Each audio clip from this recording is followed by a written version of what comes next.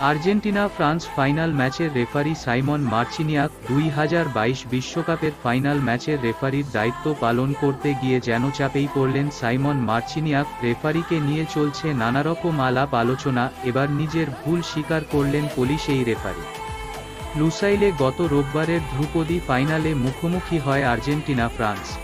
যেখানে একশো কুড়ি মিনিটের লড়াই তিন গোল তিন শেষ হওয়ার পর গড়ায় টাইব্রেকারে, এই ম্যাচে মোট আটটি হলুদ কার্ড দেখিয়েছিলেন মার্চিনিয়াক। তাছাড়া অনেকবার খেলাও থামাতে হয়েছিল এই রেফারিকে। ফাইনাল ম্যাচ নিয়ে স্পোর্ট ডট পিএলকে দেওয়া সাক্ষাৎকারে পুলিশ রেফারি বলেন, অবশ্যই ফাইনাল ম্যাচে ভুল করেছি।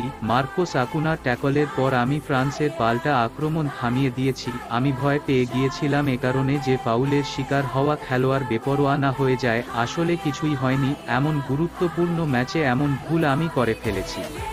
তাছাড়া এই ফাইনালে একশো আট মিনিটের সময় লিওনেল মেসির গোল বাতিলের ব্যাপারে ফরাসি ক্রীড়া গণমাধ্যম এলিকুইপ একটি প্রতিবেদন করেছিল। গণমাধ্যম যুক্তি দেখিয়েছিল গোল হওয়ার সময় মাঠে আর্জেন্টিনার বদলি খেলোয়াড়েরা ঢুকে পড়েছিলেন। ফরাসি গণমাধ্যমের প্রশ্নের জবাবে কিলিয়ান এমবাপ্পের পেনাল্টিতে করা একটি গোলের ভিডিও দেখিয়েছিলেন মার্চিনিয়া।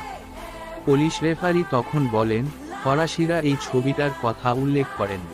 আপনারা স্পষ্ট দেখতে পাচ্ছেন অ্যাম্বাপ্পে গোল করার সময় ফ্রান্সের সাত খেলোয়াড় মাঠে ছিল।